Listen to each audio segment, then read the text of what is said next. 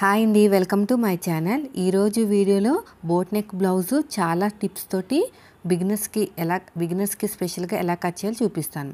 ఇప్పుడైతే నేను కొలత బ్లౌజ్ అనేది తీసుకున్నాను. ఇది కూడా బోట్ నెక్ బ్లౌజ్ అండి.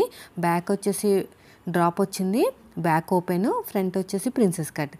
ఈ వీడియోలో అయితే నేను బ్యాక్ పార్ట్ కోసం క్లియర్గా ఎక్స్ప్లెయిన్ చేస్తాను కటింగ్ అండ్ స్టిచ్చింగ్. ఫస్ట్ అయితే ఇచ్చిన బ్లౌజ్ని ఇలా వీడియోలో చూపించినట్టు నీట్గా సర్దుకుని దాని చెస్ట్ కొలత అంటే ఈ హ్యాండ్ నుంచి హ్యాండ్ కింద కుట్టు ఉంటుంది కదా చంక దగ్గర కుట్టు ఆ హ్యాండ్ వరకు ఎంత వచ్చిందో చెక్ చేయండి. సో మొత్తం నాకు థర్టీ ఎయిట్ వచ్చిందండి టోటల్ రౌండ్ వచ్చేసి. దాంట్లో సగం ఎంత ఉందో ఫోల్డ్ చేసుకుని మనం మార్కింగ్ అనేది వేసుకోవాలి. ఫస్ట్ అయితే నేను లైనింగ్ క్లాత్ని ఇలాగా తడిపేసుకుని ఆరబెట్టుకుని లైనింగ్ని ఐరన్ అనేది చేసుకున్నాను అనమాట ఇది బ్యాక్ ఓపెన్ కదా అందుకని ఓపెనింగ్స్ అనేవి మన వైపు వచ్చేటట్టు ఫోల్డ్ చేసుకోవాలి. ఎడ్జెస్ అనేది ఈక్వల్గా ఉండేటట్టు చూసుకుని ఇలాగ మార్కింగ్ అనేది వేసుకోవాలి.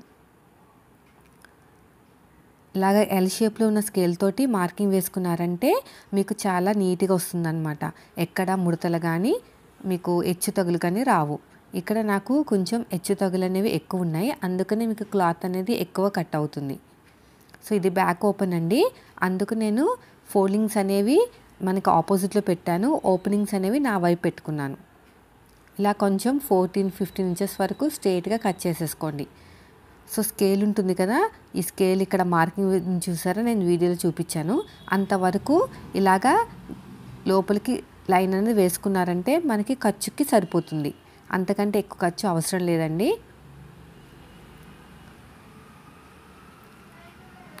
ఖర్చు వదిలేసి మనం మార్కింగ్ అనేది చేసుకోవాలి. ఆ ఖర్చులోకి పోతుంది కదా.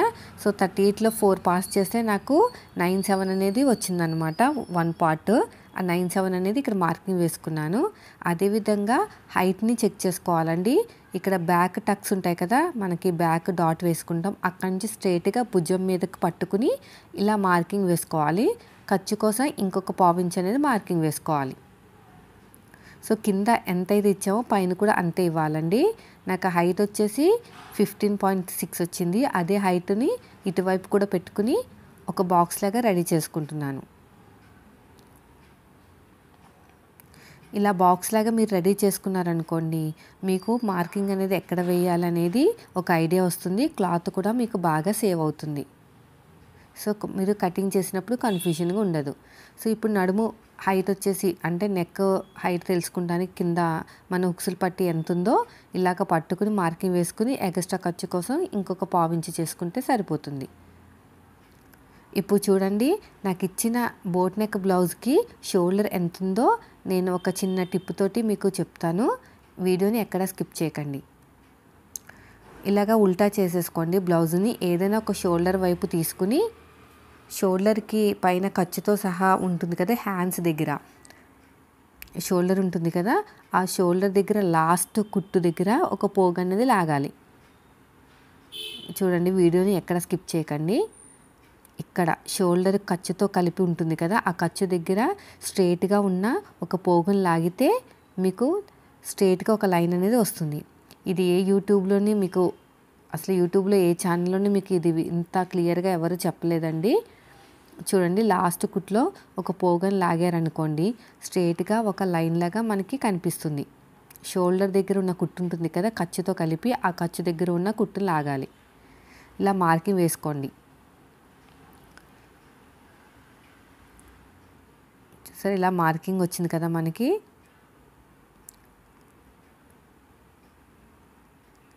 ఇప్పుడు షోల్డర్ ఎంత ఉందో మనకి క్లియర్గా తెలుస్తుంది. హుక్స్ పట్టి ఉంది కదా అక్కడి నుంచి మీరు చూసుకుంటే నాకు సెవెన్ త్రీ వచ్చిందండి. ఎగ్జాక్ట్గా సెవెన్ త్రీ ఖర్చుతో కలిపి. సో మనం ఎక్స్ట్రా ఖర్చు కోసం మార్కింగ్ వదిలేసి మనం మార్కింగ్ అనేది చేసుకోవాలి.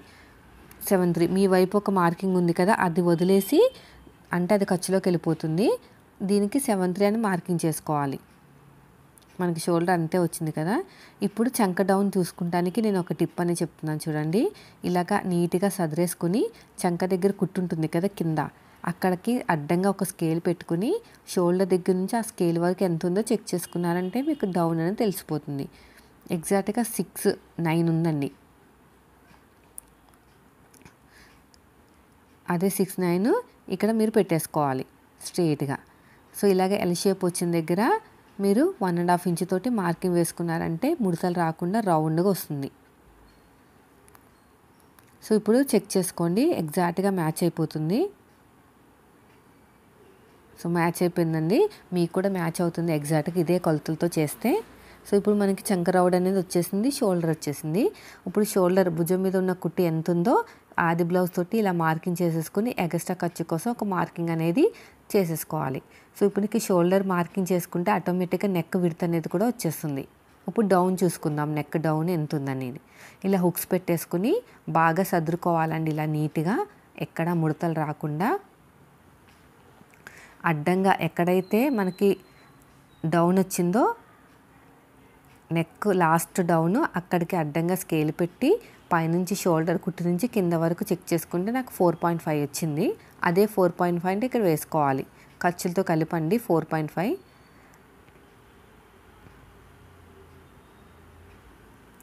ఇలాగా ఎల్ షేప్లో మార్కింగ్ వేసుకుని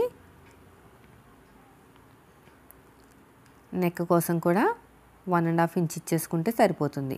బోట్ నెక్ అనేది వచ్చేస్తుంది. ఆది బ్లౌజ్ ఇచ్చేసి అదే విధంగా కుట్టమన్నారు అనుకోండి ఇదే మెథడ్ ఫాలో అవ్వాలి. నేను ఒక one and half inch difference తోటి ఎగస్ట్రా ఖర్చు అనేది పెట్టుకుంటున్నాను. మీకు క్లాత్ ఉంటే టూ ఇంచెస్ వరకు పెట్టుకోవచ్చు. సో డ్రాప్ కోసం ఎక్కడైతే నెక్కకి మార్కింగ్ చేసామో దాని కింద వన్ ఇంచ్ వదిలేసి మీరు డ్రాప్ కోసం అని మార్కింగ్ చేసుకోవాలి. ఎందుకంటే వాళ్ళ డ్రాప్ ఎంత వచ్చిందో అంతే ఉండాలండి. సో ఇప్పుడు విడ్త్ చూసుకుందాము. విడ్త్ వచ్చేసి ఇలాగా నిదానంగా పరుచుకుని మిడిల్లో ఉన్న విడ్త్ ఎంత ఉందో మీరు కొలుచుకోవాలి. సో ఇలాగ నీట్గా సదిరేసుకుని ఎక్కడ సాగదీయకుండా నాకు ఫోర్ వచ్చింది. అంటే అందులో ఆఫ్ వచ్చేసి టూ. టూకి మార్కింగ్ వేసుకుని మనం కట్ చేసేటప్పుడు కొంచెం లోపలికి కట్ చేసుకోవాలి. టూ కంటే లోపలికి. ఎందుకంటే అది ఖర్చు ఖర్చుతో కలిపి మనకి వాళ్ళు ఖర్చు పోగా టూ వచ్చింది కదా మనకు ఖర్చు కావాలి కాబట్టి టూ కంటే లోపలికే మార్కింగ్ వేసుకోవాలండి. ఇలాగ నాకు డైమండ్ షేప్ వచ్చేటట్టు బాదం షేప్ వచ్చేటట్టు నేను ఇలాగా హ్యాండ్ తోటి రౌండ్ అని చేసేసుకున్నాను. చూడండి ఎంత బాగా వచ్చిందో. నాకు వచ్చేసి ఫైవ్ వచ్చిందండి. విడత్ వచ్చేసి టూ అనమాట ఖర్చుతో ఖర్చు తీసేసి మనం మార్కింగ్ వేయాలి. మనకి మన వైపు ఒక మార్కింగ్ వేసుకున్నాం కదా స్కేల్ అంత విడతోటి అది తీసేసి మనకు మార్కింగ్ వేసుకోవాలి.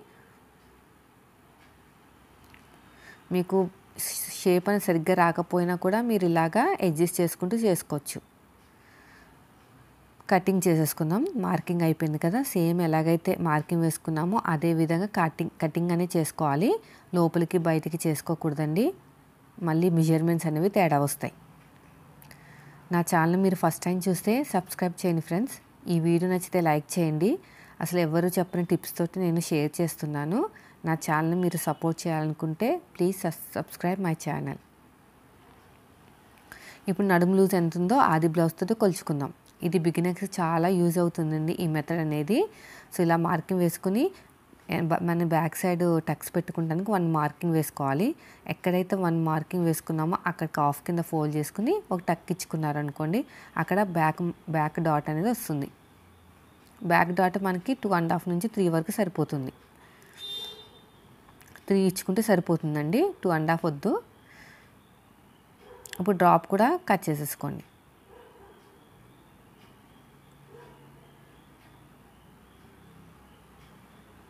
ఇప్పుడు మనకి బ్యాక్ పార్ట్ రెడీ అయిపోయింది కదా. ఇప్పుడు మనం ఒరిజినల్ మీద సేమ్ అదే విధంగా పెట్టుకుని కట్ చేసేసుకుందాం. ఓపెనింగ్ మన వైపు ఉండేటట్టు చూసుకుని మన లైనింగ్ కూడా అలాగే పెట్టుకోవాలండి. లైనింగ్ ఎలాగైతే పెట్టుకుంటున్నామో ఒరిజినల్ కూడా అలాగే పెట్టుకోవాలి. ఓపెనింగ్స్ మన వైపు పెట్టుకుని ఫోల్డింగ్ అనేది అవతల వైపు ఉండేటట్టు చూసుకుని కటింగ్ చేసుకోవాలి. ఫ్రంట్ పార్ట్ ప్రిన్సెస్ కట్ వచ్చిందండి. అది ఇంకొక వీడియోలో షేర్ చేస్తాను. ఒకే దాంట్లో షేర్ చేస్తే మనకి లెంత్ ఎక్కువైపోతుంది. వీడియో లెంత్ అనేది. సో ఇప్పుడు ఇది రెడీ అయిపోయింది కదా స్టిచ్చింగ్లోకి వెళ్ళిపోదాం. ఇప్పుడు స్టిచ్చింగ్ చేసినప్పుడు మన ఒరిజినల్ క్లాత్ ఉంటుంది కదా అది సీదా మన వైపు ఉంచుకుని మార్కింగ్ ఉంటుంది కదా మార్కింగ్ ఉన్నది మన వైపు పెట్టుకుని అటాచ్ చేసేసుకోవాలి లైనింగ్ మొత్తం. ఎందుకంటే దీన్ని తిప్పాల్సిన అవసరం లేదండి. నేను నెక్కి పైపింగ్ వేస్తాను. అందుకు నేను తిప్పట్లేదు. ఉల్టా మన వైపు. చూడండి.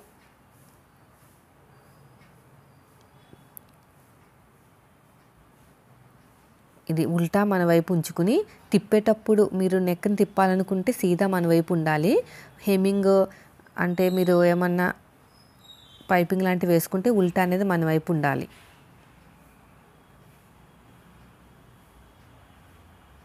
పెద్ద కుట్టు పెట్టే పెట్టేసుకుని స్టిచ్ చేసేసుకోండి.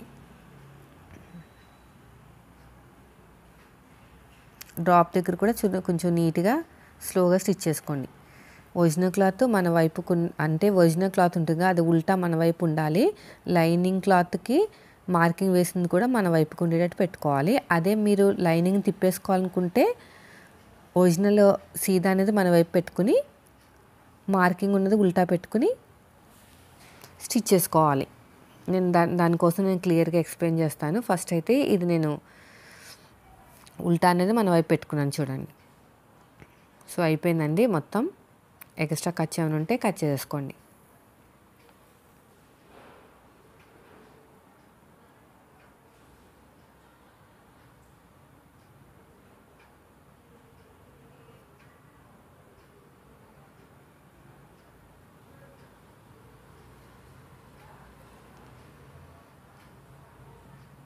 నా ఛానల్ మీరు ఫస్ట్ టైం చూస్తే సబ్స్క్రైబ్ చేయండి ఫ్రెండ్స్ ఈ వీడియో నచ్చితే లైక్ చేయండి. సో మనం ఇప్పుడు ఎలాగైతే జాయిన్ చేసేసుకున్నామో రెండో పార్ట్ కూడా అలాగే జాయిన్ చేసేసుకోవాలి. ఇలా టక్ ఇచ్చేసుకోండి.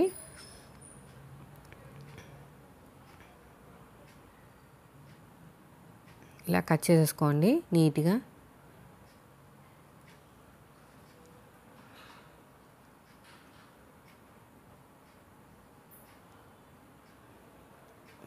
రెండోది కూడా రెండో పార్ట్ ఉంటుంది కదా ఉక్స్ పట్టి కాజా పట్టి వైపు అవి కూడా సేమ్ మీరు ఇలాగే అటాచ్ చేసేసుకోవాలి దీన్ని కూడా. రెండో పార్ట్ కూడా ఇలాగే అటాచ్ చేసేసుకోండి. నెక్స్ట్ వచ్చేసి ఉక్స్ పట్టి మీరు ఎటువైపు వేసుకోవాలనుకుంటున్నారో అటువైపు ఉక్స్ పట్టి కాజా వైపు పట్టిని కూడా ఇలాగే ఫోల్డ్ చేసేసుకుని నార్మల్గా మన బ్లౌజ్కి ఎలా చేసుకుంటామో అదే విధంగా చేసేసుకోండి.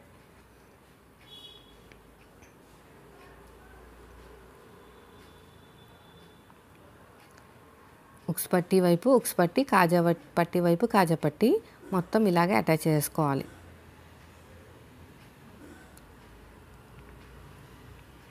ఇంకో స్టిచ్ వేసుకున్నారంటే స్ట్రాంగ్గా ఉంటుంది. పక్కనే ఒక పాదం ఇంచు డిఫరెన్స్ తోటి. సో ఇప్పుడు అయిపోయిందండి. ఇది హుక్స్ పట్టి అనమాట చూసారా ఎంత నీట్గా వచ్చిందో? నెక్స్ట్ వచ్చేసి ఇంకోవైపు కాజా పట్టి. కాజా పట్టి కూడా మీరు సేమ్ నార్మల్గా ఎలాగా అటాచ్ చేసుకుంటారో అలాగే చేసేసుకోండి.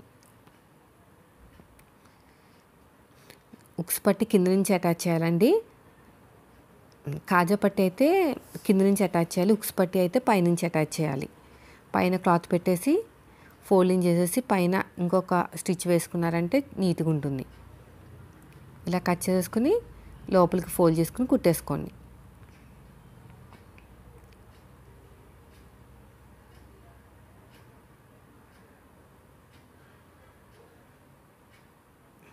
ఇప్పుడు కాజా పట్టి ఉక్స్ పట్టి మనకి రెడీ అయిపోయింది. ఈక్వల్గా వచ్చాయో లేదో ఒకసారి చెక్ చేసుకుంటే ఏమైనా అడ్జస్ట్మెంట్స్ ఉంటే చేసేసుకోవచ్చు. ఇప్పుడు రెడీ అయిపోయిందండి. దీనికి నేను పైపింగ్ అనేది వేస్తాను. నేను ఎక్కువ ఎక్స్ప్లెయిన్ చేయనండి. ఎందుకంటే నేను ఆల్రెడీ ఒక వీడియో తీసాను పైపింగ్ కోసమని. సో ఇప్పుడు నేను కొంచెం ఫాస్ట్గా చెప్పేస్తాను. ఇలాగా ఒక వన్ ఇంచ్ డిఫరెన్స్ తోటి క్రాస్ పట్టి అనేది తీసుకుని దానికి ఒక పాదం ఇంచు తోటి ఫోల్డింగ్ చేసేసుకుని ఇలా స్టార్ట్ చేసుకోవాలి. ఇక్కడ షేప్ వచ్చిన చోట మనము కొద్దిగా టక్ అనేది పెట్టుకుని ఇలా వంపు తిరిగే చోట నిదానంగా పాదాన్ని కిందకి పైకి అడ్జస్ట్మెంట్ చేసుకుంటూ ఇలా స్టిచ్ చేసుకోవాలి. దీనికోసం నేను క్లియర్ ఒక వీడియో అనేది తీసాను నేను ఎండ్ స్క్రీన్లు ఇస్తాను. ఒకసారి చూడండి. ఇలా చేసుకున్న తర్వాత టక్స్ ఇచ్చేసుకుని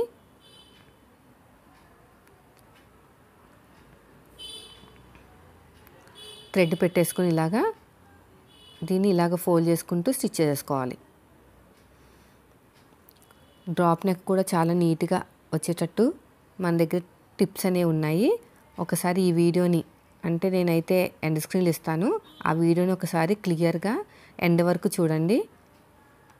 మీకు ఎంత నీట్గా వస్తుందో పైపింగ్ మీరు వేసుకున్న తర్వాత మీకే తెలుస్తుంది.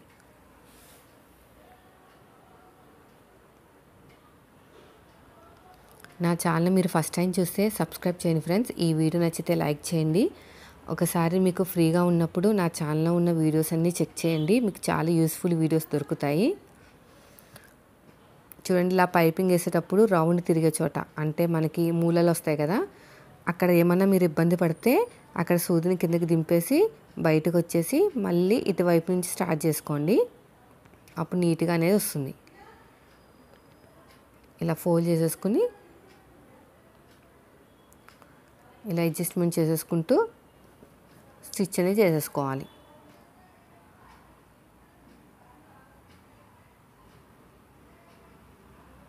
చాలా ఈజీ మెథడ్లో స్టిచ్చింగ్ ఉంటుంది నా ఛానల్లో.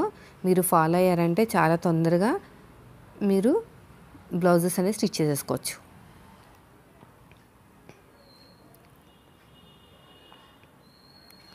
హెమ్మింగ్ అవసరం లేకుండా ఇక్కడ మనం బయటకు వచ్చేసాం కదా కొద్దిగా అందుకని అక్కడ కుట్టు అనేది పడలేదనమాట మళ్ళీ బ్యాక్కి వెళ్ళి వేసుకోవచ్చు. చూడండి ఎంత నీట్గా వచ్చిందో మూలలు కూడా బ్యాక్ సైడ్ కూడా. ఇప్పుడు హెమ్మింగ్కి అవసరం లేకుండా ఒక పాదం నుంచి డిఫరెన్స్ తోటి ఇలా స్టిచ్ అనేది వేసేసుకోండి. సో ఫైనల్ లుక్ అనేది ఇలా ఉంటుందండి. నా ఛానల్ మీరు ఫస్ట్ టైం చూస్తే సబ్స్క్రైబ్ చేయండి ఫ్రెండ్స్. ఈ వీడియో నచ్చితే లైక్ చేయండి. మరికొన్ని వీడియోస్ కోసం నా ఛానల్ సబ్స్క్రైబ్ చేయడం మాత్రం మర్చిపోకండి. Thank you for watching my channel